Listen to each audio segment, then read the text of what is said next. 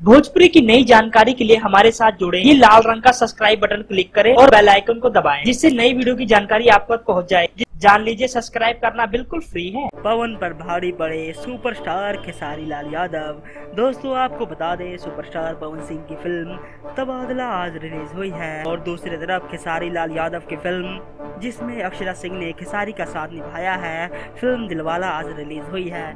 दोस्तों, आपको बता दें, दोनों ही फ़िल्में बिहार में आज धमाल मचा रही हैं। लेकिन खबर ये आ रही है कि पवन सिंह पर भारी पड़े सुपरस्टार खेसारी लाल यादव। दोस्तों, आपको बता दें, खेसारी लाल यादव ने रिक्वेस्ट उन्होंने कहा है, आपको ये जोड़ी दोबारा से देखने को नहीं मिलेगी। इस बात से भी बहुत लोग खेसारी और अक्षरा की जोड़ी सिनेमा घरों में देखने पहुँचे। और दोस्तों, आपको बता दें, पवन सिंह की फ़िल्म को तो लोग बहुत पसंद कर ही रहे लेकिन दोस्तों, इस समय पवन सिंह से ज़्यादा फ़िल्म चल रही है। दिलवाला यानी खिसारी की फ़िल्म को लोग बहुत बड़ी मात्रा में पसंद कर रहे हैं।